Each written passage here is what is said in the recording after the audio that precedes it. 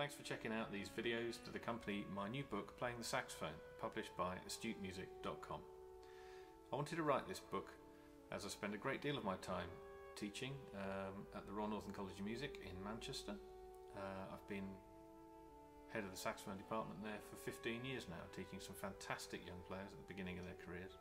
And as a result of that, and my playing myself professionally in a whole range of settings, from solo and recital work to uh, orchestral playing to playing in big bands to doing jazz gigs and pop sessions and pretty much everything you can do involving a saxophone over the last 25 years.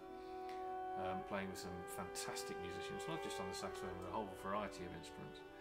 Um, I've sort of formulated a way of thinking about the instrument that I've been teaching on my many summer schools and at my teaching at the RNCM, and I wanted to put this in a book um, at the request of many of the students that I um, meet in my travels. Um, the book examines pretty much every aspect of saxophone technique that I could think of um, and centres around the notion that well, there's two tables in the book, one of which examines everything you can do on one note, every musical nuance that you superimpose onto the basic information of a sound, how it starts, how it finishes, what the middle of the note's like, what sound you superimpose, what colour you superimpose on it, uh, what kind of vibrato you use, what shape of vibrato waveform, is it decreased, does it increase, uh, your intonation, the dynamic, your projection, everything I could think of that you could put onto one single note. Because after all, if you think about it, we can only play one single note at a time. Um, and each of those musical and, I guess, psychological processes we examined in the book, underpinned by another table which looks at the fundamentals of how we achieve all of those techniques, starting with the basics of posture, and moving air into the saxophone, understanding why the saxophone needs a certain type of air, how the instrument works and how this relates to what we do with our bodies. Um, right the way through basic finger position, hand position, finger technique, um, uh, right the way through controlling the altissimo, controlling the vibrato, so the how to do all of the techniques on the saxophone. Um, and we work through all of these in the book and all of the mental and musical processes we that combine the two, so that by the end of the book we've looked at the how and the why and the what of everything you do on the saxophone. None of this is particularly geared towards any style of music. Um, the saxophone plays so many styles of music.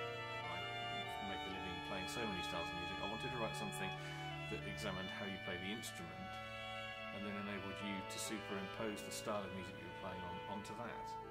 So uh, whether you're playing one of the scale exercises with straight quavers and an even sound and a nice vibrato that you're working on in your classical playing, or whether you then use the same exercise but turn it on its head and play it with a fast bebop articulation.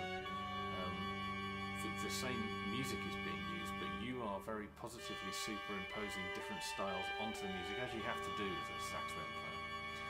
Um, in order to get what you want out of those exercises. And the whole book is set up um, along those guidelines. It's designed for any serious saxophone student, um, anyone that wants to really understand why the saxophone does what it does, why they can do what they can do, but why they can't necessarily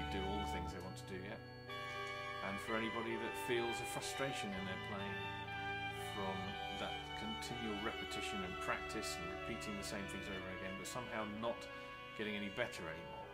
That point where you realise the techniques you've picked up almost subconsciously through your early years on the saxophone need to be redefined and understood in order for you to move forward, to break through the glass ceiling, to get to the point where you can really achieve your potential on the instrument. I hope you enjoy the book. Uh, I've enjoyed writing it immensely.